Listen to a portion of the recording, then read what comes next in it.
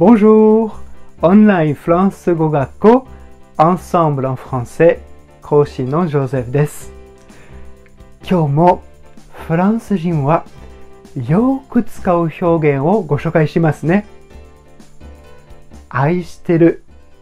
フランス語では Je t'aime というのは有名ですが、ある言葉を足すと友達として好きという意味に変わってしまいます。Je t'aime bien.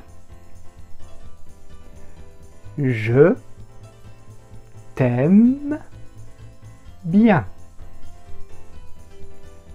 Je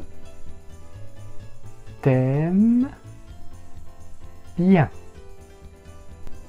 Je t'aime bien. あれ bien は動詞を強調する役目があるのに友達として好きになるんですね。面白いですね。愛してると伝えたいときはシンプルに Je t'aime と言えばいいです。